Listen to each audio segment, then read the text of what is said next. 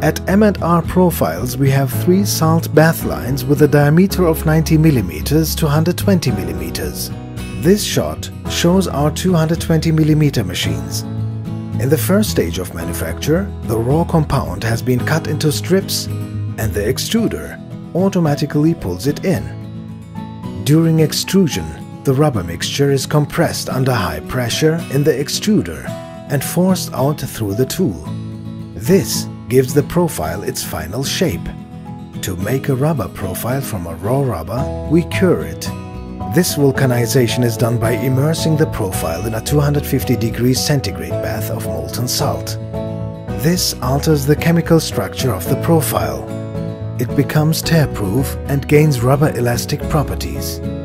The intense heat transferred from the molten salt allows us to achieve high production speeds and means that large profiles can be reliably vulcanized. After the vulcanization process, we cool the profile. It passes through a rinsing bath to remove remaining salt. We then dry the profile with compressed air. This concludes the production phase. Depending on size, the profiles are wound by hand.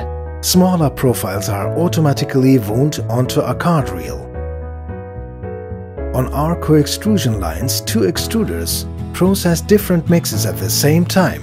This process allows us to manufacture profiles, combining different colors and combinations of hardness into one single run. We carry out quality control by taking samples from the production process at predetermined intervals, which are compared on the projector.